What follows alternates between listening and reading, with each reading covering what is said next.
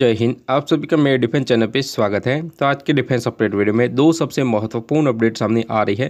तो जो वीडियो की पहली अपडेट है वो एम से फाइटर जेट के ऑर्डर को लेकर आ रही है। तो आप सभी को पता होगा कि पहले एम से फाइटर जेट के टोटल 140 यूनिट भारतीय वायुसेना खरीदने वाली थी, जिनमें जो एम से मार्क वन होगा, उसके 40 यूनिट और एम से मार्क टू के 100 यूनिट भारतीय वायुसेना खरीदने वाली थी। पर अभी फ़िलहाल ऐसी रिपोर्ट सामने आ रही है कि जो एम से फाइटर जेट है, उसके ऑर्डर दो सौ प्लस भी हो सकते हैं। तो इसके बारे में हम डिटेल से डिस्कशन करेंगे। इसके अलावा जो वीडियो की नेक्स्ट अपडेट है, वो Sukhoi thirty M fighter jet को लेकर आ रही है। तो अभी फ़िलहाल आप सभी को पता होगा कि एक लंबे समय से भारतीय वायुसेना Sukhoi thirty M fighter jet को ऑपरेट कर रही है, की वजह से जो पुराने Sukhoi thirty M fighter jet है, उनको नए इंजन की सख्त ज़रूरत है। इसको लेकर भी एक बहुत ही बड़ी अपडेट सामने आ रही है।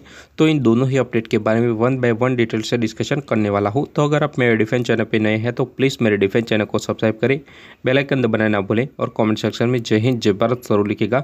इसके अलावा अगर आपको मेरा डिफेंस के रिलेटेड कंटेंट अच्छा लगता है तो मेरे वीडियो को लाइक भी कर सकते हैं और इसके अलावा आपको डिफेंस के रिलेटेड कोई भी क्वेश्चन हो तो आप अपना क्वेश्चन कमेंट सेक्शन में ज़रूर लिखेगा जिसका आंसर मैं अपने आने वाले वीडियो में दे दूँगा। तो आज की डिफेंस अपडेट वीडियो को शुरू करते हैं। अब सभी को पता है कि एम से फाइटर जेट प्रोग्राम भारतीय वायुसेना के लिए कितना ज़्यादा महत्वपूर्ण है, क्योंकि यह फाइटर जेट प्रोग्राम ही भारतीय वायुसेना को चाइनीज़ एयरफोर्स के ऊपर बढ़त बना के देने वाला है। शुरुआत में एम से फाइटर जेट को लेकर भारतीय वायुसेना का यह प्लान है कि जो एम से मार्क वन होंगे, उसके चालीस यूनिट और जो एम से मार्क टू होंगे, उसके सौ यूनिट भारतीय वायुसेना में शामिल किए जाएँगे, पर जो एम से मार्क टू प्रोजेक्ट है, वो टोटली डिपेंड करता है उसके 110 किलोमीटर के इंजन के ऊपर।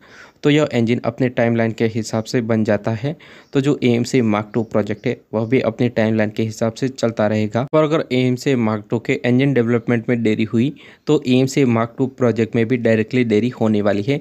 तो इसी के चलते ऐसी रिपोर्ट सामने आ रही है कि भारतीय वायुसेना जो A M C mark one है, उसके ज़्यादा नंबर में ऑर्डर दे सकती है। तो टोटली जो एम से फाइटर जेट के ऑर्डर है, वो 200 प्लस भी हो सकते हैं। के अलावा बात करें तो एम से फाइटर जेट को एसपीवी मॉडल के अंडर बनाया जाएगा, जिसके तहत जो प्राइवेट कंपनियाँ हैं, उनको भी मौका दिया जाएगा। पर अगर ए से फाइटर जेट के एक बड़ा ऑर्डर नहीं मिलता है, तब तक प्राइवेट सेक्टर को भी कोई बड़ा फ़ायदा नहीं होगा। अभी फ़िलहाल ए फाइटर जेट को लेकर ऐसी रिपोर्ट सामने आई है कि जो पहले इनिशियल मार्क वन के चालीस ऑर्डर ही दिए जाने वाले थे।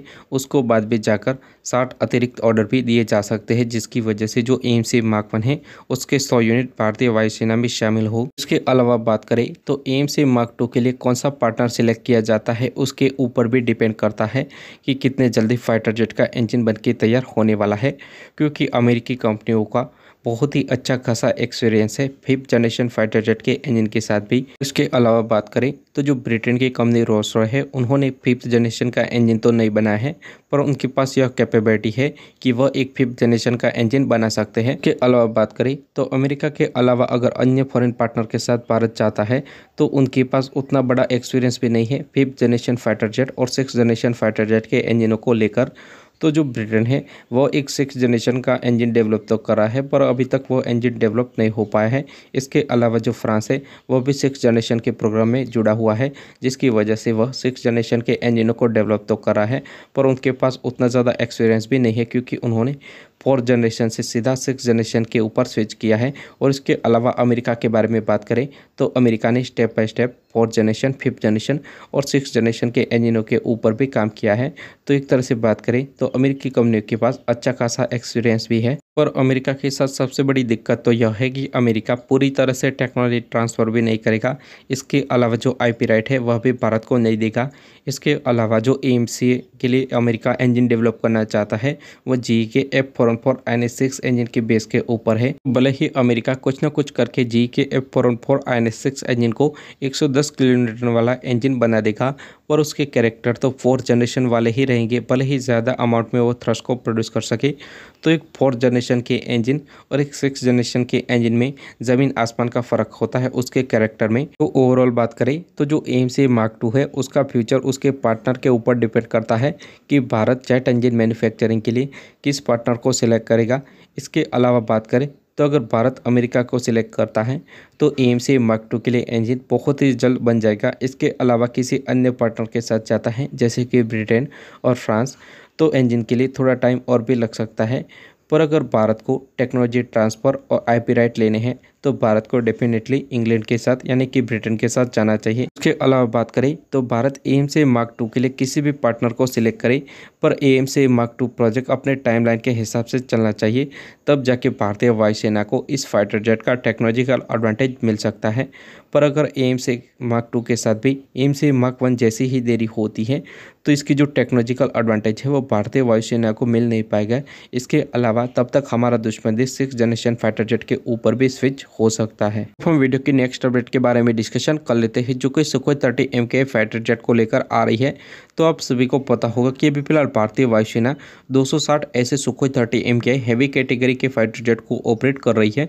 तो जो Sukhoi thirty M K fighter jet है, वो भारतीय वायुसेना के लिए बैकबोन की तरह काम कर रहा है। अभी फ़िलहाल भारतीय वायुसेना में सबसे पहले जो इनिशियल बैच के सुखोई थर्टी एम शामिल हुए थे, उनको नए इंजन की सख्त ज़रूरत है, जिसको लेकर एचएल और भारतीय वायुसेना के बीच डिस्कशन चालू है। दो इंजनों को लेकर भारतीय वायुसेना और एचएल के बीच डिस्कशन चालू है, जिनको जो इनिशियल बैच के Sukhoi thirty M fighter jet है, उनमें लगाया जाएगा।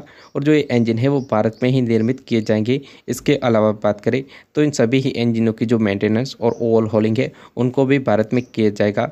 तो एक तरह से बात करें तो रशिया यूक्रेन वॉर की वजह से जो Sukhoi thirty M KI spare supply है, उसमें भी बाधा आई थी, पर भी फ़िलहाल भारत नहीं चाहता है। जो रशिया यूक्रेन वॉर की वजह से स्पेयर पार्ट सप्लाई में प्रॉब्लम आ रही है, वो आगे जाके भी आए तो ऐसा भारत नहीं चाहता है, जिसकी वजह से जो ये नए इंजनों को बनाया जाएगा, उसके स्पेयर पार्ट भी भारत में ही बनेंगे, जिसकी वजह से भारतीय वायुसेना को एक बड़ा प्रॉब्लम फेस ना करना पड़े। उसके अलावा बात करें तो ऐसी रिपोर्ट सामने आ रही है कि इस डील के ऊपर इस साल के अंत तक कोई बड़ा फैसला आ सकता है। इसके अलावा मेरे व्यूअर के द्वारा एक बहुत ही बड़ा इंपॉर्टेंट क्वेश्चन पूछा गया था कि जो सुपर सुखो अपग्रेडेशन होने वाला है। अब सभी को पता होगा कि सुपर सुखो अपग्रेडेशन में कई सारे इक्विपमेंट एवेनिक्स और सेंसरों को अपग्रेड किया जाने वाला है। मेरे व्यूअर ने यह पूछा है कि पहले सुपर सुखोई अपग्रेडेशन में सुखोई थर्टी एम के इंजनों को भी चेंज किया जाने वाला था और ए फोर्टी वन इंजनों को सुखोई थर्टी एम में इंस्टॉल किया जाने वाला था, पर बाद में यह प्लान चेंज कर दिया गया और जो पुराने A L thirty one engine है, उनको ही रहने दिया गया है। तो यह क्या इंजन सफिशियंट पावर प्रोवाइड करवा पाएँगे या नहीं करवा पाएँगे? जो सुखोई थर्टी एम में पुराना A L thirty one engine लगा हुआ है, वह इंजन भी कैपेबल है। कि सुकर सुकर में जितने भी अपग्रेड होंगे उनको सफिशियंट पावर प्रोवाइड करवाने में तो सुपर सुखोई अपग्रेडेशन बाद भी जो A L thirty one engine है, उसकी वजह से किसी भी तौर पर ऐसा नहीं लगेगा कि जो Sukhoi thirty M K fighter है, वो सुपर सुखोई अपग्रेडेशन के बाद A L thirty one engine के साथ अंडर पावर लगे।